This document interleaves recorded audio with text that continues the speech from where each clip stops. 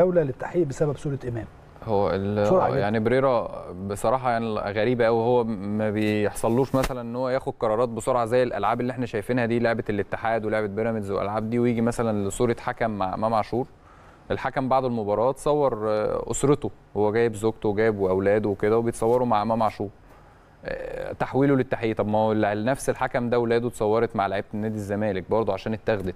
لا اتصور مع شيكابالا واتصور مع محمود الونش بعد مباراة برضه لنادي الزمالك. فأنا شايف إن هي يعني زي ما هو اتصور هنا اتصور هنا.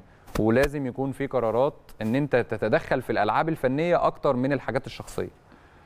تمام. خلينا بقى نروح للشق الفني ولكن بعد هذا الفاصل وبعد الفاصل زي ما قلت لحضراتكم سريعا هنتكلم عن الشق الفني ومكاسب النادي الأهلي في مباراة فاركو وكيف يستطيع النادي الأهلي الفوز بثلاثة نقاط غدا؟ إن شاء الله هذه المباراة اللي هتكون في تمام الساعة 7 هنطلع فاصل أخير وبعد الفاصل نرجع نكمل.